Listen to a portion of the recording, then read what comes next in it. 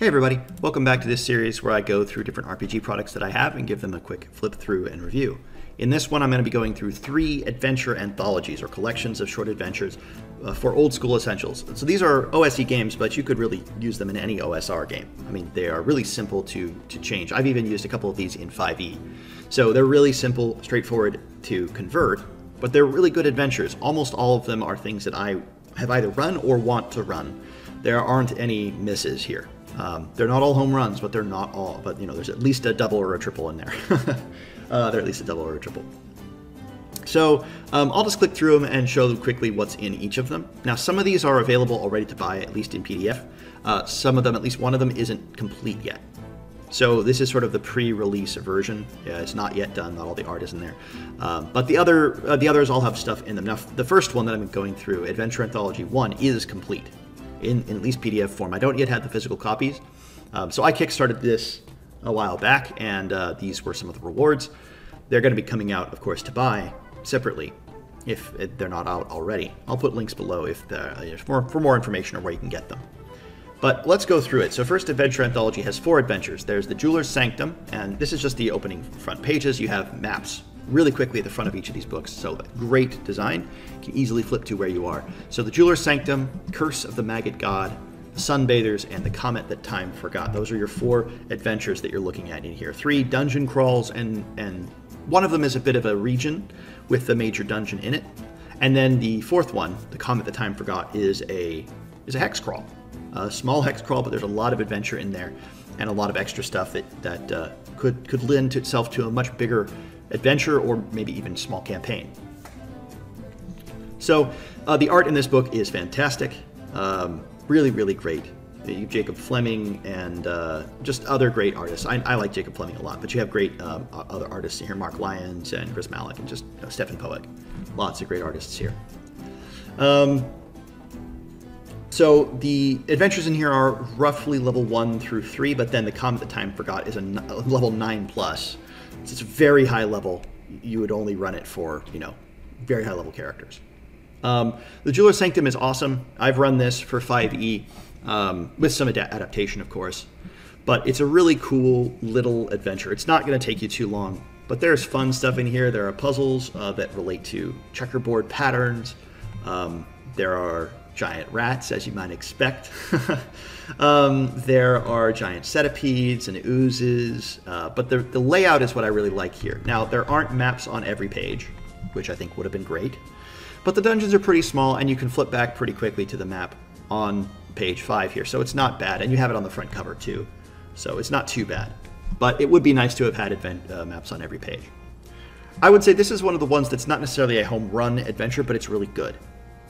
It's really good, solid adventure that you can throw into almost any campaign, and it's going to have uh, a little bit of interest, a little bit of uh, ma- some magic items in here. There's some fun puzzles, lots of cool encounters. It's not the best adventure I've ever read, but it's a good one, totally solid.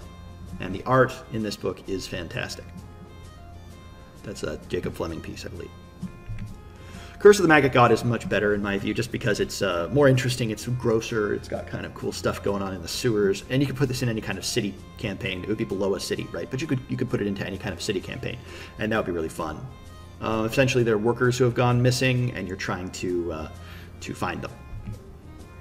Uh, you have this maggot god, this creepy giant maggot that is being uh, served by troglodyte cultists, and you find uh, lots of old um, lots of old traps and tricks in this uh, old forgotten basement of a, of a, larger manor that used to be above it, but you're, you're down in the basement of it, which is attached to the sewers. And there's uh, just some interesting creatures and some. Uh, there's a black widow monster here, which is real rough. Uh, its poison is just death, say versus poison or death in a turn. Um, but you've got troglodytes, which are kind of fun creatures to f- uh, fight, and that's it. Again, a really short adventure. I would say this one's not, again, a home run, but it's a really solid adventure, and it would be fun to run. I haven't run this one. I haven't run this one, I have to admit, but it's a cool, solid adventure. Again, you could throw it into any kind of city crawling campaign or run it as a one shot. It'd be pretty great. You have the Sunbathers, which is, I, I, think, the best of this first book. Well, this one and the last one are both home runs. I love this one, the Sunbathers. So you get an island, Fos Imeras. Fos Imeras? I'm not sure how to say it But you have an island with some locations. There's a ruin. There's uh, an olive grove. There's the North Beach, and those those those places are kind of vaguely referenced, not detailed. So if you wanted to develop this into a bit more of an uh, of a larger adventure, you easily could. Um, there are some references to what might be there and how you how you come across the island. You could you know shipwreck, or you could be hired to find a particular person. Um, or you could be you know just just looking for something that he has uh, uh, an old hero who came here has lost. Uh, essentially, sort of an, an Odysseus type figure. Because this is definitely, it gives me a Greek vibe, like an ancient Greece vibe. And you could throw this into any kind of island hopping campaign too, where this is just one of the islands in the region. So essentially, what you have here is this is this temple where there are uh, a sort of a quasi-religious order that's healing people, healing the sick, healing all these um, these uh, you know uh, pilgrims, you might say, people who have gotten here, and yet the healing is less less cure and more um, well, the, the, the, it's the cult of Lethe. That should tell you something, or Lethe, Lethe, Lethe? I think it's Lethe, um, which of course is the, the pool of forget, the river of forgetfulness. Uh, so you kind of get a sense of what might be going on here. But there's some great rumors, and uh, the golden Asclepion, Asclepion, I suppose. um, which is where you're going, and you have this really creepy place where, of course, there's the, the front rooms, which are available to anyone to go into, but then there's the back rooms, which you're not supposed to go into, and bad stuff's happening back there. And there's some really creepy stuff going on back there, uh, as you can tell from the purified one little piece of art there.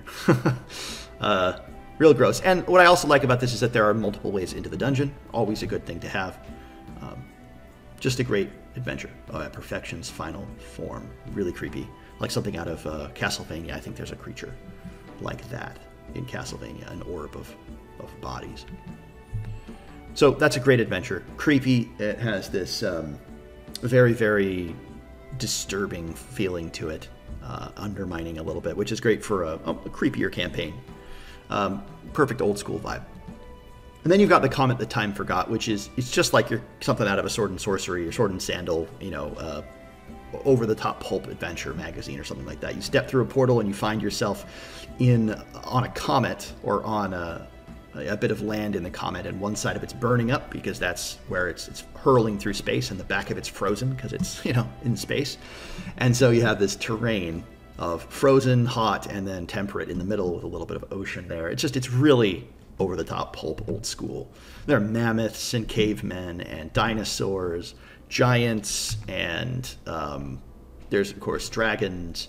Uh, you know, you're fighting white apes, or you can help them. There are lizard folk in lagoons. There's a giant sea turtle. There's salamanders, uh, red dragons, ice dragons, fire giants. Um, really excellent, right? It's like something out of Fire and Ice, that old uh, cartoon, where you know you start off with the ice people, or I guess it's reversed from that because you start off with the ice people and you have to rescue the the ice princess, basically, who's been taken by the fire giant, sort of thing. Um, it's kind of the idea. But of course, this is more of like a hex crawl, and there's a lot of little adventures throughout this place. Now, one of the things you'll notice is that there are a handful of little pieces of art, and there's like one map, but there are actually a lot of locations, and some of them would be a bit more dungeony, and so you kind of have to develop your own, which is you know great for some people. I like that. Some people wouldn't like that. They'd rather have all of it prepared for them. So this one will take a bit more work to make into a campaign because there are quests here and they direct you to different parts of the of the comet. But it's a great uh, I mean, super good. I could see this being plopped into almost any adventure high level, or you could run this as a high level one shot, and that would be kind of fun. You have a group of people stumble through a portal, like you start off with them running out of a dungeon that they've just delved, and there's something collapsing, and they see a, a glowing portal, and they leap through to save themselves, and they find themselves on this comet, and that's how they begin. Right? That'd be a cool way to start a campaign or something like that.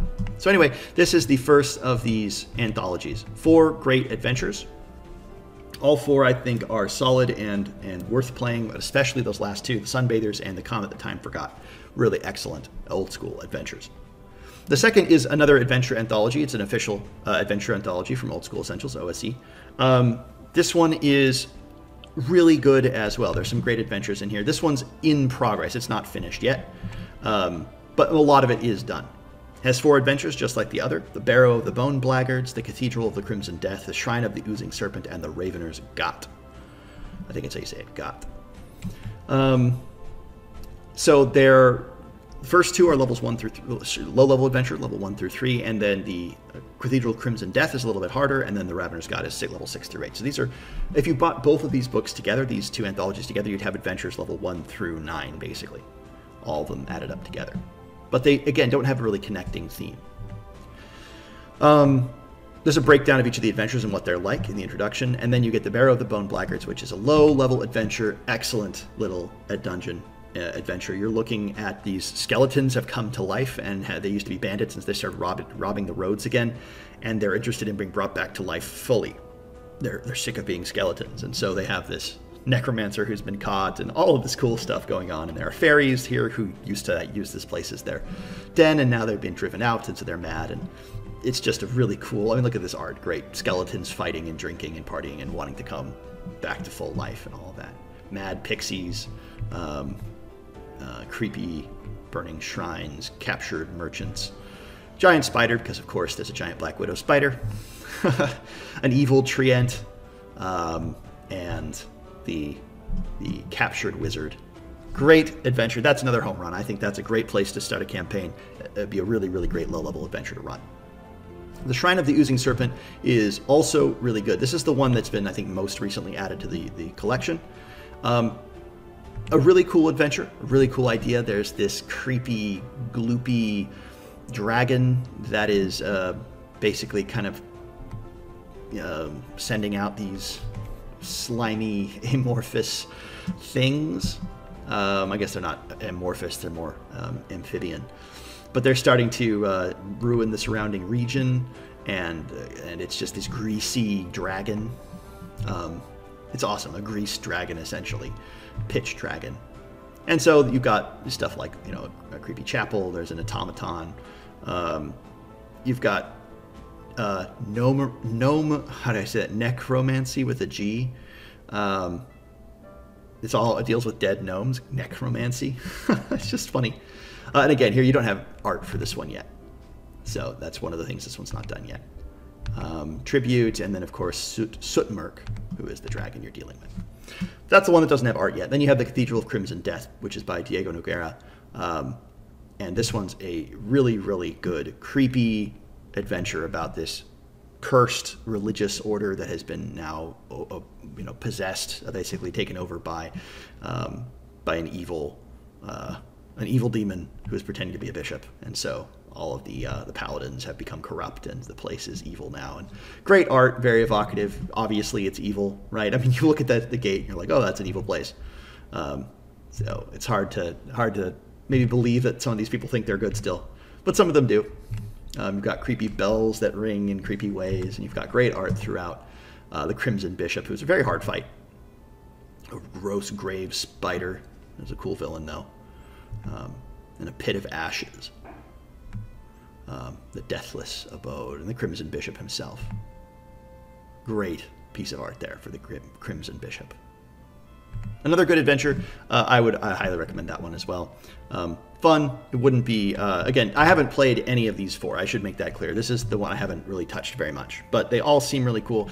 There are some cool um, I would say, interesting twists to this one. NPCs you can interact with, perhaps turn people against their former leaders and things like that. But for the most part, it's a pretty straightforward dungeon crawl, just with a sort of you know religious demonic um, battle going on. Um, and then there's the Ravener's Ghat, or Ravener's Ghat, which is sort of more, um, I think, East Indian or just Indian um, kind of influenced.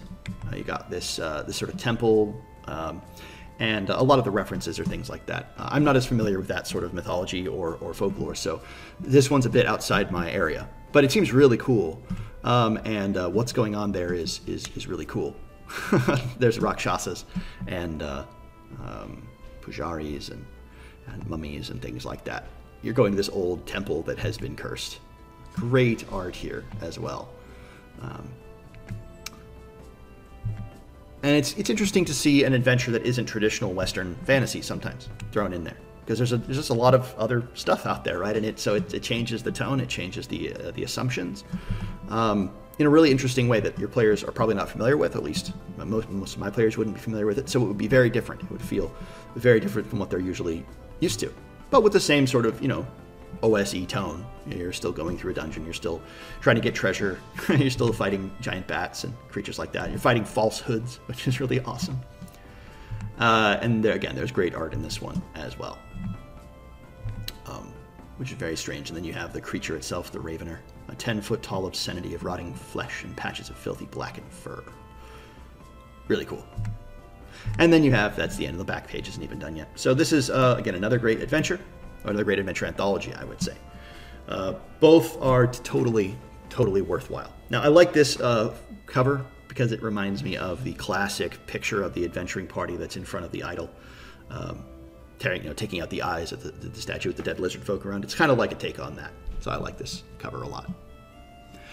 And the last uh, anthology is Wyvern Songs, or Wyvern Songs. Wyvern Songs, which is not an official uh, anthology, but it's sort of a collection by different designers. Brad Kerr is the one who put it all together. Um, fantastic piece of art on the cover, and these are other, uh, another set of adventures that I have. I've run one of them, and the others are the other four are, or the three I should say, are things I have not run, but they are really all good, really good, and uh, these are almost all home runs, I would say. The one I'm less interested in, I, I, will have to admit, is the Dreaming Caldera, which is the last of these. But you have the Sinister Secret of Peacock Point, which is the one I've run. You have Fabian's Atelier, Atelier, yeah. You have the Singing Stones, which is a regional. Well, I'll talk more about it, and then the Dreaming Caldera. So four interesting adventures here. The Sinister Secret of Peacock Point. Look at that piece of art. That creature is terrifying. It's so good, and it comes back again and again. It's that kind of uh, villain. Now, when my creature, my, my, my parties, I call them creatures, when my party ran into it, uh, they kind of took after it. They got lucky with it the first time because you fight it, and uh, they got really lucky and they managed to defeat it, but it doesn't really die. And so they were like kind of trying to chase it down um, and, and, find it because they thought they could handle it. They didn't really think about the fact they got super lucky the first time they fought it. But the idea here is that there's this um, uh, lighthouse, which has kind of been abandoned for a long time. There's a, a, a thieves guild which is operating out of it, and they've stolen this box, which had a cursed, well, a cursed box, which you're not supposed to open. And they opened it and they all basically died. And so you're going down here probably because you're trying to find the box. Probably the wizard that they stole it from has hired you to find it, but it could be uh, anything else too. It's an introductory adventure, four to six first level characters. So um, it's it's definitely a monster based, it's a villain based adventure. There's one creature that's that everything is kind of revolving around, and there are other creatures to fight and other things to run into. But it's it's kind of all about the Skitter Lord, which is this gross mummy full of bugs who's chasing you around and uh, trying to destroy you. And there's really only one way to properly destroy him, or really not even destroy him, but there's really only one way to beat him. And so the players have to kind of try to find that if they're gonna if they're gonna um, survive and get out with all the loot, because there's a lot of loot in here. Um, there are skunk goblins, there are bandits, there's an automaton, there's a bicycle, there's uh, there's some weird stuff going on in here. Um, but it's a great it's got that tone that I often really like, which is funny but also dark. Funny on the surface, and then you have a tone of darkness underneath underneath it. Um, there's some cool puzzles you kind of have to figure out as you're going through, um, and uh, there are links to other potential adventures here. You don't have to do just uh, this is a one shot. Oh, you could. I did it as a one shot, but you can connect it to other things in the world. Um, yeah, so there's a bicycle. And he has a note like, if you don't want a bicycle, you could add something else, such as a locked adamantine bird cage holding the Guildmaster's pet infant red dragon, Huffy. You should really consider adding a bicycle to your game, though. That's a great little note there. And then the follow up what happens if they choose what they choose uh, to do in the adventure. Then there's Fabian's Atelier, which is a puzzle dungeon. There's very little fighting here. Not that there's no fighting, but it's very little fighting. Um, it's a follow up to Hideous Daylight, which if you guys know is another adventure. I don't actually have that one. Um, it never really clicked with me too much, but some people, I mean, I'm sure, really love it. So this is a follow up to that adventure. So this can continue right off of that, but you doesn't have to. You can you can run it as a one shot. So it's a note about puzzle dungeons, and this is really interesting. He's talking about how um, violence is always an answer. So that's really I like the point five there is really is really important. If you want to, you can always just use time and senseless destruction and you can always get through a puzzle dungeon if the players cannot find other ways around it. Don't don't shut them out of that. Uh, and, and just you know, go with it. There are no right answers. If the players have a weird workaround that makes sense, say yes. Puzzles are really hard in D&D, and I think we've all probably had that experience where we try to run a puzzle and we have like our, our plan for the players to solve it, and they, they either think of something we didn't think of or they can't think of what we wanted them to think of. And if we're not clever and we don't think on our feet, we could just get stuck there. The players get stuck, we get stuck, we want them to solve it, we think that they're close, but they don't know how to do it. It, it can be really frustrating. So um, make sure that you, I would say, read these notes, and they're really good notes about how to run a puzzle dungeon, especially, but any puzzle. Well, you got to keep the game moving. You can't get let things get stuck if you're going to run a puzzle like this. So it's just a wizard's tower. Um, and one of the interesting things is that uh, he has a note on size because one of the things you can do is shrink down really small. And you can fight things that are huge relative to you. Um, for example, you can go through the water pipes and find your ways through the walls and, and, and fight creatures that are much bigger than you, that are normally like rats, right? But uh, you can fight them and, and now they're huge and, and that sort of thing. Um, now, the puzzles themselves are, are pretty hard, I'll admit. Uh, not all of them, some of them are, are a little easier, but this would be a tough dungeon, and I don't know if this would be work for every group. If your group doesn't like dungeons with puzzles in them, or you don't like running puzzles, then you're just not going to like this dungeon.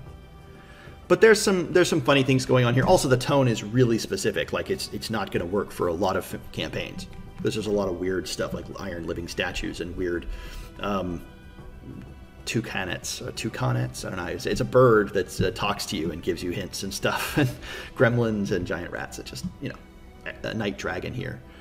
Um, if you don't like it, you know you're not going to like it. But it, it it's really good and it has interesting ideas. I don't think I would ever run this dungeon. I mean, I might. I might. It's really cool and it's really clever. I don't think my players would ever like it. If I found the right players, I would run this. Um, once again, you have the follow up and what happens if you finish it up. Now, the Singing Stones is a wilderness adventure. I really like this one. Um, essentially, you're in a valley, it's a sandbox, and uh, it's a point crawl. And so you're going from point to point, try to solve the different quests that you can find uh, throughout. So you have these points and the locations, there you go, and they're all really interesting. They're all things that will catch your eye. So you'll remember them. So the players can use this to their advantage um, and, uh, and uh, how to get there. So there are rivals, random encounters, and then there's a breakdown of each of the zones the Humming Flats, the Sleeping Giant, the camp, the Ranger Station, the Chiming Plateau, etc., etc., etc. So there are locations within those locations that you can find. Um, there's a retired Medusa. there are uh, these cool stones that are singing. Uh, that's why it's called the Singing Stones. Obviously, they're blood demons. Um, barefoot dwarves who are doing their own thing, crystal caverns, giant houses. Great, uh, grand cathedral out here. An old ruined ship out in the middle of the desert. Um, no waterways are remotely visible, so how to get here.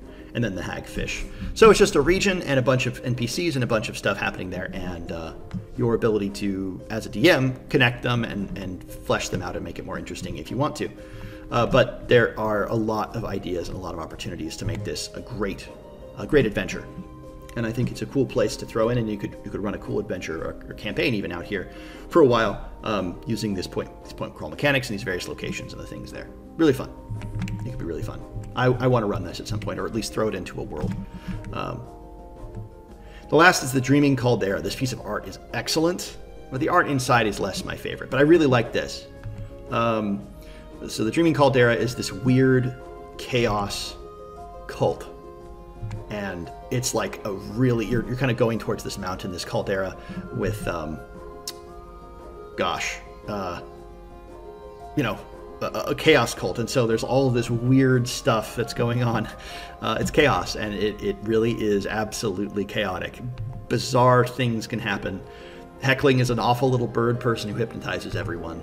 Um, Gurk is a lizardman necromancer in a dirty plush robe. He's always damp. There's dire chickens. Um, just, you know, this is going to be, some people are going to find this to be their favorite thing ever. and some people are going to absolutely hate this. Because it's so bizarre and it's so weird. And the stuff that can happen to the players are is so weird. The art, again, like it, it's pretty amateurish. It's not my favorite. I, am not a huge, huge fan of this, but the, the cartography throughout all of these books is great. The maps are good. There's the Chaos God, the Archangel of Chaos, and uh, expanding the dungeon if you want to make it bigger. Really crazy stuff going on here.